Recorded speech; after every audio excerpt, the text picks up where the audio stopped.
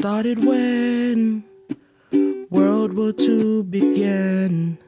The Marshall Islands used as a nuclear testing land.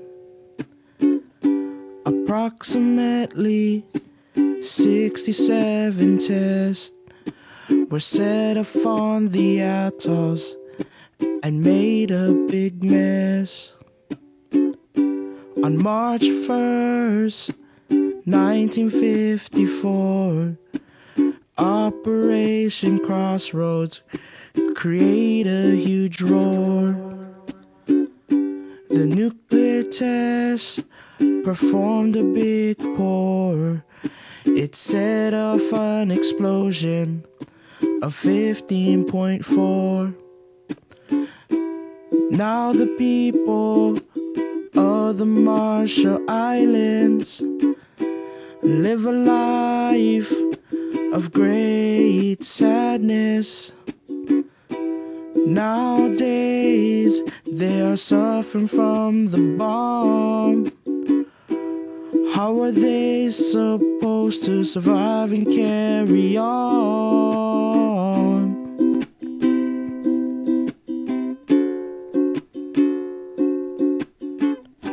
A couple years later, many were affected.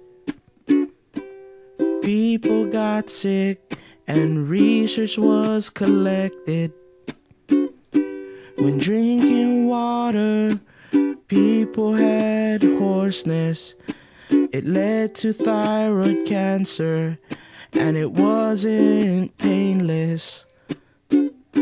The nuclear fallout resulted in ulcerations, as well as nausea that led to radiation.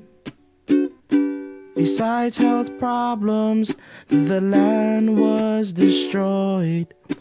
Food crops and 80% of Bikini Atoll.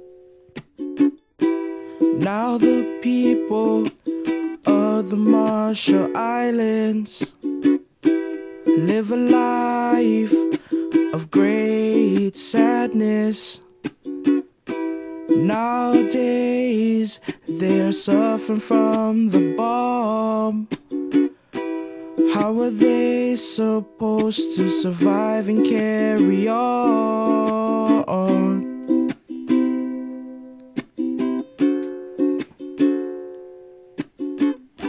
In 1986, the United States passed a law. It was known as the Compact of Free Association. $2.6 billion was used for a reason. It provided financial and medical assistance. The Marshall Islanders came to the US without no pay to alleviate from the past. To repair what has happened is very nice. Now they're given a second chance of life. Now the people of the Marshall Islands live a life of great gladness.